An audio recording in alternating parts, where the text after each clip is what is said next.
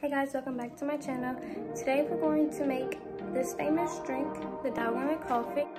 Start off, I just like to add a little bit of caramel syrup to my coffee, not too much. Add your favorite milk. I like coconut milk. Way too much.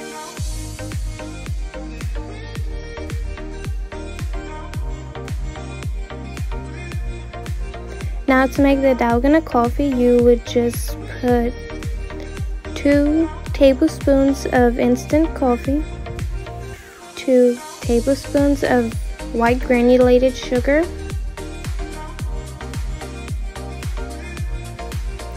two tablespoons of hot water. It says mix, but I'm going to try and attempt to make it in the blender.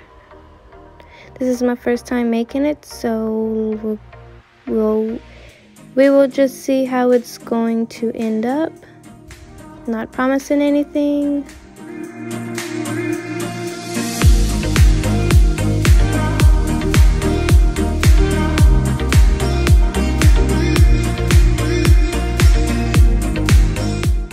I blended it about four minutes.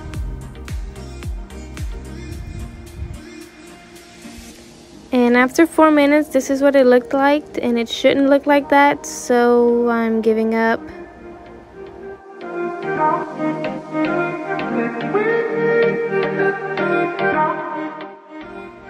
So my coffee didn't come out, so I just made a regular pot of coffee.